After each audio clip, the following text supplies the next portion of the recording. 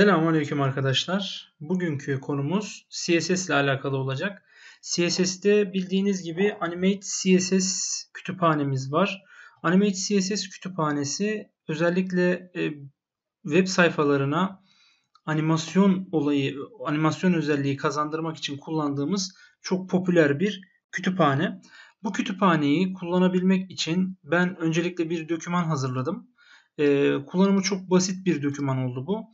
Yani burada sadece HTML ve CSS kodlarını görüyorsunuz. Herhangi bir Bootstrap'le ve benzeri e, bir CSS kütüphanesiyle hazırlama ihtiyacı hissetmedim. Çünkü direkt amaca yönelik Animate CSS kullanımına yönelik bir video olacak bu. Animate CSS arkadaşlar özellikle böyle durağan sitelere daha bir canlılık en azından en başta gelirken daha bir canlılık kazandırabilmek için kullanılan bir kütüphanedir. Şuradan hemen e, Animate CSS yazdığınızda Danede'nin sitesi vardır arkadaşlar. Danede'nin Animate CSS kütüphanesi burada mevcuttur. Arkadaşlar özellikle bu site üzerinden de e, mesela şu animate.css'in nasıl geldiğine bakarak animasyonların nasıl olduğunu ile alakalı fikir sahibi oluyoruz. Buradan tıkladığımızda Bones arkadaşlar yukarı zıplatma birkaç titreşim halinde yukarı zıplatma olayı. Burada arkadaşlar birçok ne var? Animasyon var. Bu animasyonları kullanabilmek için bizim bu kütüphaneye sahip olmamız gerekiyor. Bu kütüphane için mesela burada farklı farklı olaylar var. Mesela bounce in dediğiniz zaman, animate it dediğiniz zaman arkadaşlar bunun başına ne geleceğini görebiliyorsunuz.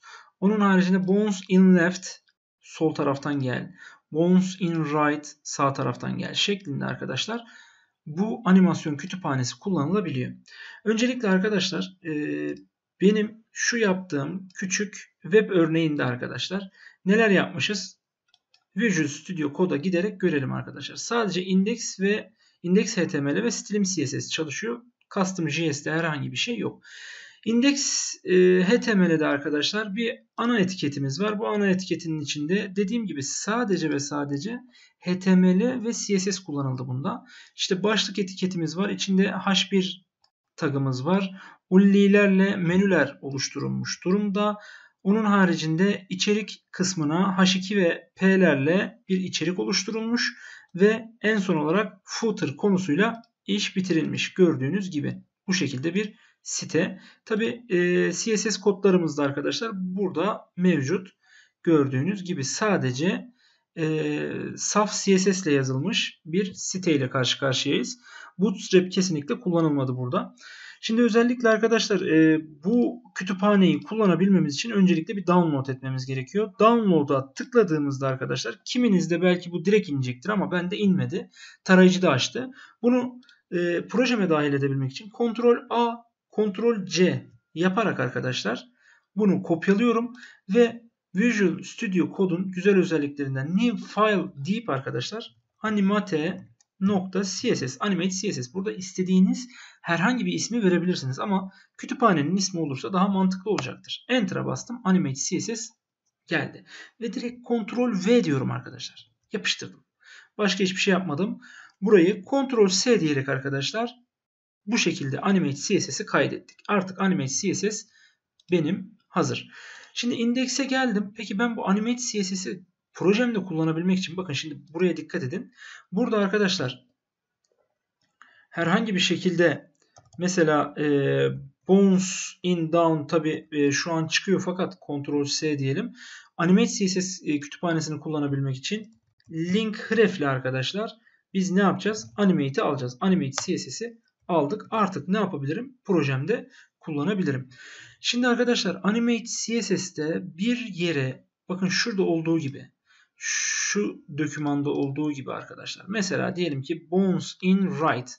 Bu efekti verebilmek için yani sağdan gelebilme efektini verebilmek için neler yapacağız? Çok basit kullanımı. Animate CSS'i ekledik. Buraya kadar bir sıkıntı yok. Sadece klaslarla iş yapacağız arkadaşlar. H1'e geldim. Mesela Animate CSS'in sağdan sola doğru gitmesini istiyorum. Class, H1 class animated. Ne demek bu arkadaşlar? Animasyonlu hale gel. Animated ol demek arkadaşlar. Animated'dan sonra bakın bones in right demişiz buraya.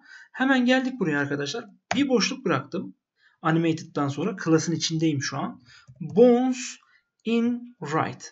Sağ taraftan gel manasında. F12 tuşuna bastığımızda bakın gördüğünüz gibi Animate CSS kullanımı sağa doğru geldi. Yenilediğim zaman yine aynı şekilde ne yapacaktır? Ee, sola doğru gelecektir. Sağdan sola doğru gelecektir arkadaşlar. Peki sadece buraya mı verebiliyorum? Hayır. Burada arkadaşlar şu class yapısını aldım. Kopyaladım arkadaşlar. Mesela e, ben burası ne? Başlık divi arkadaşlar. Siyah alanın olduğu yer başlık divi. Bu dive verirsem ben eğer şurada e, ne, ne diyoruz? Animated ve bones in bu sefer de left diyelim. Bu da soldan gelsin. Ctrl S diyelim. Bu soldan gelsin. H1 sağdan gelsin ve ortada birleşsinler. Böyle bir animasyon yapmak istiyorsunuz mesela. Geldik buraya arkadaşlar. Yenile dediğimde bakın gördüğünüz gibi ne yapıyor? Soldan sağa doğru geliyor. Yalnız burada dikkat etmişsinizdir arkadaşlar. Ee, CSS burada aslında geliyor. Fakat arkadaşlar e, kendi ana divi animate'e uğradığı için içindeki e, şeyi kabul etmiyor. Animate'i kabul etmiyor. O yüzden arkadaşlar ana divi vermişseniz içindekine veremiyorsunuz. Şimdi burada mesela UL'nin şöyle bir şey yapabiliriz. UL class animated dedik. Bir boşluk bıraktık arkadaşlar. Mesela burada da herhangi bilmediğiniz e, buraya tabi bütün hepsi geldi arkadaşlar. Mesela ne diyebiliriz? Flash. Flash dedik arkadaşlar. Ctrl S F12'ye tıkladık. Bakın dikkat ederseniz yenile diyeyim. Burada UL'ye dikkat etmeniz gerekiyor arkadaşlar. Yenile dedim. Bakın gördüğünüz gibi menülerim yanarak e, yanıp sönme efektine tabi oldu. Bu şekilde animasyonumuzu gerçekleştirdik arkadaşlar. Tabi burada birçok animasyon kütüphanesini burada deneme yanılma yöntemiyle arkadaşlar bulabilirsiniz. Mesela rotate. Bakın gördüğünüz gibi rotate in klasıyla gayet güzel bir animasyon gerçekleştirmiş. Mesela flash'ı değiştirelim. Rotate rota pardon rotate in klasını verdim. Ctrl S dedim ve geldim arkadaşlar şuraya. Dokümanımda yenileye bastım arkadaşlar ve yenile gayet güzel bir şekilde çalışıyor arkadaşlar. Herhangi bir sıkıntımız yok. Güzel. Peki burada başka neler yapabiliriz? Şöyle bir şey yapmak isteyebilirsiniz. Gerçi çok da isteyeceğinizi de düşünmüyorum açıkçası. Çünkü şöyle diyeyim. Infinite diye bir olayımız var. Infinite. Infinite arkadaşlar sonsuz anlamına geliyor. Yani sonsuz defa bu animasyonu tekrarla demek. F12'ye bastım. Sayfada habire siyahın habire ne olduğunu görüyorsunuz arkadaşlar. Soldan sağa doğru kaydığını görüyorsunuz. Bu tamamen Infinite klasının bir özelliğidir. Yani animated yazdın, bones in left yazdın. Infinite dediğin zaman da arkadaşlar bu sonsuz defa tekrarlanacaktır arkadaşlar. Bu şekilde bir özelliği var Infinite'in. Infinite'i sildik ve yolumuza devam edelim. F12 tuşuna bastım ve gayet güzel animasyonlu bir şekilde geliyor. Burada tabi istediğiniz e, herhangi bir içeriğe ya da e, diğer şeylere de ne yapabilirsiniz? Müdahale edebilirsiniz. Bir de kendi stil dosyamda arkadaşlar bazı animasyonları buraya ekleyebilirim. Mesela nokta ekle. Dedim ki ben e, animasyonun 3 saniye sonra gerçekleşmesini istiyorum. Yani animation animation animation delay Animation delay arkadaşlar belli bir saniye sonra başlatır animasyonu. Buraya geldim. Mesela ne diyelim arkadaşlar? 3 saniye sonra başlasın istiyorum. Peki ben bunu nereye koyacağım? İndekste arkadaşlar mesela başlığın yani o siyah alanın 3 saniye sonra gelmesini istiyorsunuz. Ekle dedik. Ctrl S. Bakın bunu kendi CSS'ime yazdım. Dikkat ederseniz. Animate CSS'ten gelmiyor. Şimdi şuraya geldim. F12 tuşuna bastım. 1, 2, 3 dedik ve ondan sonra geldi arkadaşlar. Gördüğünüz gibi kendiniz de müdahale edebilirsiniz. Hem kendi stilinizi bakın bunu kendim yazdım. Şu nereden geldi? Animate CSS'in içinden geldi. İkisini beraber ne yaptım? Kullandım. Burada arkadaşlar bir de animasyonun kaç saniye süreceğini belirtebiliyorsunuz. Mesela şuraya geldik arkadaşlar. Ekle demiştik. Şuraya nokta ekle 1 diyelim ve animation bu sefer de arkadaşlar animation animation duration arkadaşlar. Animation duration kaç saniye süreceğini belirtiyor. 5 saniye diyelim. Bunu da nereye ekleyelim? Menümüz olan e, yere ekleyelim. Yani şurada animated rotate in demiştik ya. Bunun 5 saniye sürmesini istiyorsunuz mesela. Ekle 1 dediniz ve Ctrl S'ye bastınız. F12'ye bastım. Arkadaşlar 5 saniye boyunca ne yapacaktır? Bu oynayacaktır. Şuraya gelelim bir saniye. Ctrl S dedik. Herhangi bir sıkıntımız yok. 5 saniye boyunca aslında oynaması gerekiyor. Şurada animation duration dedik. Dur, e, durma süresinden bahsettik. Ekle birin içine yazdık arkadaşlar. Bir de bunun kaç defa tekrarlanması. Mesela şuraya geldiniz.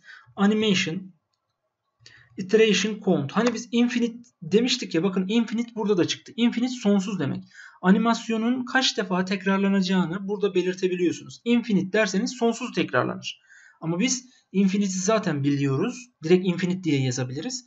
Ama burada mesela 3 defa tekrarlansın. Ctrl S. Bir bakalım. F12 tuşuna bastım. 1, 2, 3. Gördüğünüz gibi 3 defa ne yaptı? Tekrarladı. Bakın F5 diyorum. 1, 2, 3 defa ne yaptı? Tekrarladı arkadaşlar. Sadece HTML ve CSS ile bu işlerin hepsini ne yapabiliriz? Halledebiliriz arkadaşlar.